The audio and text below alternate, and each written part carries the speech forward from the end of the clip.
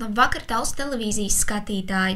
Šovakar raidījumā jūs redzēsiet dziesmu un deju svētki bērnu dārzā Sprīdītis, Krišāņa Valdemāra Talsu teātrim augsti sasniegumi, Talsu otrā vidusskola tikās pie Balta galdauta klāta galda, Talsu pirmskolas izglītības iestāde Sprīdītis pagājušajā nedēļā pieskandināja mūzikas skaņas, jo jau otro reizi bērnu dārzā notika dziesmu un deju svētki.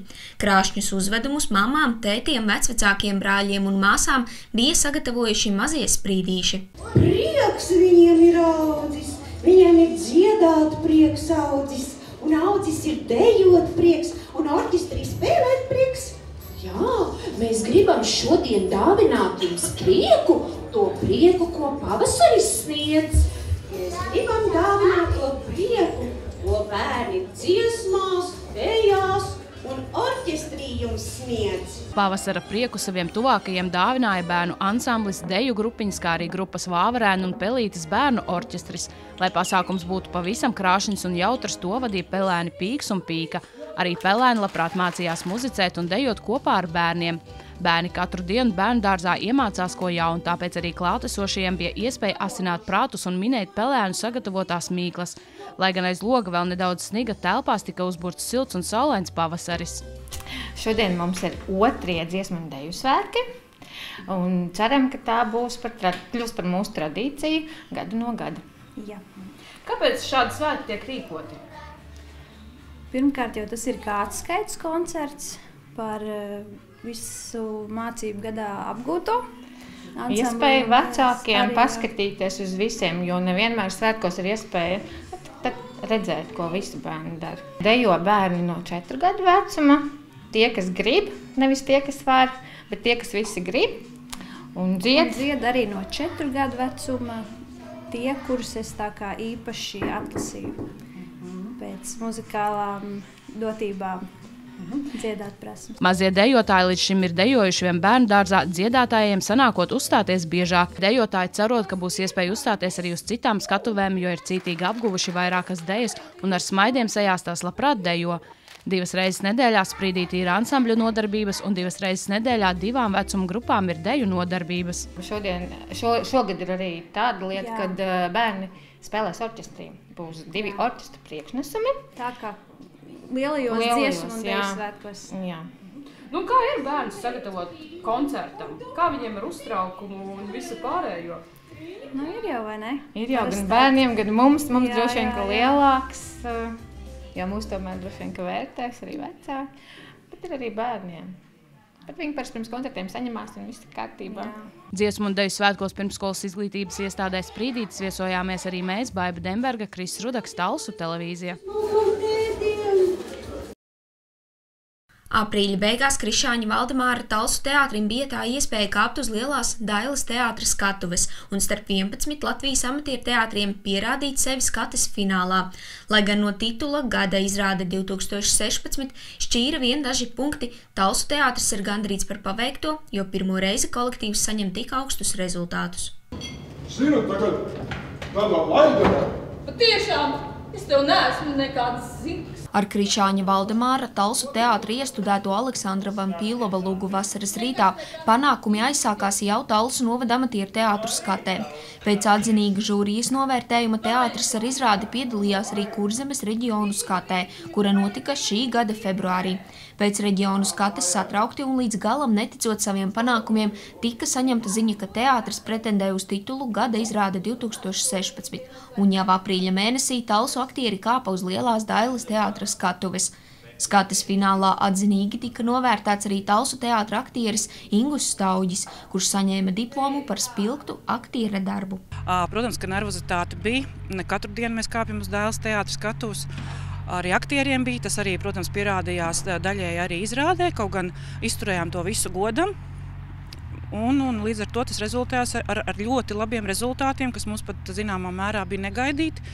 Jo es necerēju, jo, jo faktiski par milimetru atpalikām no gada izrādes. Ā, Gandarījums ir, jo mans mērķis nevienu brīdi nav bijis noteikti nokļūt finālā. Es jau esmu teikusi to, ka es nekad nu, neesmu lutināta ar panākumiem, ar milzīgiem panākumiem. Man tā nekrīt no gaisa tie panākumi. Un, un šis ir tāds zināmā mērā klusu varbūt cerēts, un, un tad jau, jau kādā brīdī varbūt gaidīts, bet tas nebija mērķis uzsākot šo izrādi. Pasaules klases dramaturga Aleksandra Vampīlova lūgu vasaras rītā Talsu teātra režisore Jolanta Skujaniece zinājusi jau kopš pamatskolas laikiem. Tā kā mēs, tas nav, nenozīmē, ka kad, kad lūga ir rakstīta 75. gadā, tā ir pēdējā Vampīlova lūga, bet, bet tā ir tik, tik mūsdienīga visās savās cilvēku nu, sadzīves peripētījās, jūtās, nu, mūžīgās vērtības principā tiek risinātas šajā izrādē. Līdz ar to nu, man likās, ka tā ļoti, ļoti iederētos tāls teātra repertuārā, jo tāls teātra aktieriem padodas tīri vairāk šie psiholoģiskie gabali varbūt nekā cita veida, cita veida izrādes. Jau šajā nedēļas nogalē Talsu tautas namā notiks Talsu novada amatieru teātru skate 2017, kurā ikvienam bez maksas divu dienu laikā būs iespēja redzēt 11 Talsu novada amatieru teātru kolektīvu sagatavotās izrādes. Uh, šajā gadā mēs neesam gatavojuši jaunu izrādi dēļ šī iemesla. Mēs uzsākām jaunu, bet dēļ visām skatēm, un, un, kurām bija jāgatavojās papildus, un uh, līdz ar to tas prasīja milzīgu darbu. Mēs negat, ne, nesagatavojam pilnīgi jaunu izrādi, mēs ejam ar jau gatavu gabalu, ko daudzi talsos jau ir redzējuši, tā un šitā un nekā, kas ir pēc trīnas grēku motīviem veidot izrādi. Nedaudz, nedaudz varbūt uzlabota, nedaudz atsvaidzināta, un mēs vienkārši šogad piedalīsimies, var teikt godīgi, bez ambicioziem mērķiem. Mūsu uzdevums šajā gadā ir piedalīties, un, un to mēs arī izdarīsim. Kristīna Freimane, Girts Grenevics, Stalsu televīzija. Jau otro gadu visā Latvijā 4. maijā tiek rīkoti Baltā galdauta svētki.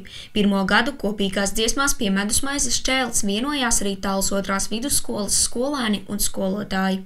Balts galdauts, svaigas maizes garša, balts miers aiz mana loka zied. Un miers kāds sirdī tikai bērnam. Miers bērna sirdī, klusi dziedi. Dzējoļi latviešu dziesmas, tautas dziesmas, vairāk kā 600 Talsu otrās vidusskolas skolēnu un skolotāju dienā pirms valsts svētkiem ieradās Talsu saules kalnā, lai kopīgi vienotos dziesmās un mielotos ar medus maizi pie baltu galdauta klāta galda. Mēs esam joprojām ļoti daudz, mēs esam ļoti liela, liela skola, un mums, mēs gribējām, lai tie svētki tāda kopības sajūta, lai mēs visa skola varētu būt pie tā baltā galdauta, tur kopīgi būt un kopīgi kaut ko, nu, principā dziedāt, ja šodien šodien arī, lai mums būtu tāda kopības sajūta, mēs domājam, kur tas varētu notikties. Un tam mums nāca, ienāca prātā tas saules kalns. Un tad mēs tā kopīgi ar direktoru palūdzām kaut ko augstākam spēkam, lai mums tā saulīt šodien spīd. Un saulīt šodien spīd, un man liekas, ka būs jauki.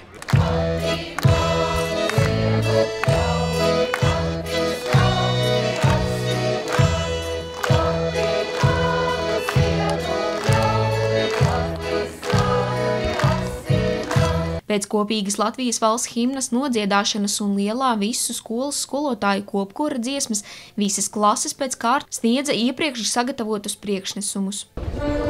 Prasas,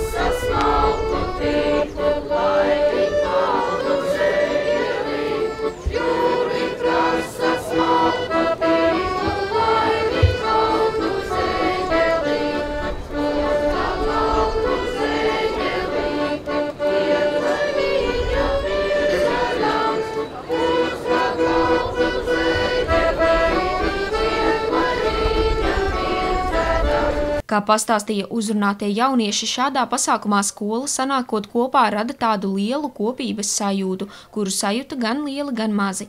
Arī 4. māju liela daļa skolēnu mājās atzīmē ģimenes un radu lokā. Parasti ir vai nu pirmās četras klasīs kopā, vai vidējais, vai vidusskola, bet, kad mēs redzam, cik mēs tiešām esam kopā, daudz, tomēr mēs esam daudz, un vēl mēs ļoti gribējam arī, mums ir visi skolotāji uzaicināt, un arī bijušie skolotāji. Mēs esam aicinājuši arī visus skolas pensionārus, kas ir kādreiz strādājuši skolā, arī, lai viņi sajust to kopības labs sajūta, lai mēs arī viņiem būtu, lai viņi būtu kopā ar mums šodien. Man patika ļoti šis pasākums, dēļ tā, ka stundas bija nedaudz īsākas, un kad visa skola kopā nāca uz šejienu, varēja apskatīties daudzus bērnus no citām klasēm, no lielajām, un ka visi kopā skaitīja visādas dzējoļus un dziedāja. Es domāju, skola ir ļoti parūpējusies, lai mēs skolēni arī tiešām tos svētkus nosvinātu.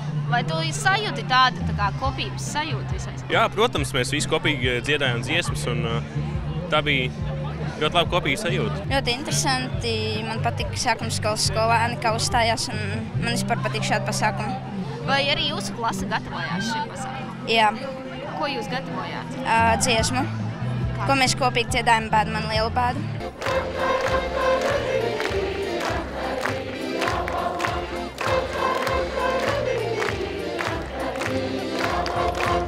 Kā jums šis pasākums šodien? Uh, pirmais mums stundas ātrāk beidzās, tas bija diezgan patīkami, bet vispār man patīk, ka var skola beidzot sajiet vienā vietā un apvienoties vienā, var pateikt, dziesmā, jo mēs dziedājam kopā visi. Vai tu jūti arī to kopīgu sajūtu? Jā, es jūtu. Es domāju, ka tas ir ļoti vajadzīgs, jo pēdējā laikā mēs visi esam tā atsevišķinojušies, nu tā vispār cilvēki, un teikt, mēs esam visi kopā, un tas rada tiešām fantastisku auru. Kā tu parasti svini 4. māju? 4. māju mēs kopā ar ģimeni sanākam, arī ēdam kopā un dziedam dziesmas. Un ir ļoti interesanti kopā ar ģimeni. Kristīna Freimane, Girts Grenevits, Stalsu televīzija.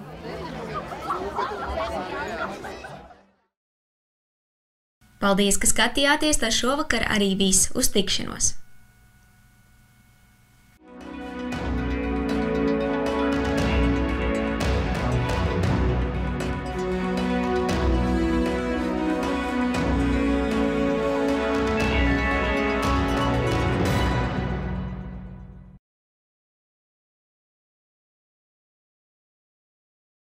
Ceturtajā maijā no 10.30 visi aktīvi dzīvesveidu piekritēji laipni gaidīti pie Talsas sporta halles, kur 12.12. tiks dots starts pavasara krosam un nojošanas festivālam.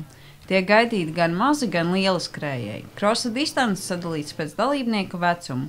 Bērniem sākot no 500 metriem un pieaugušo distanci līdz 6,6 km.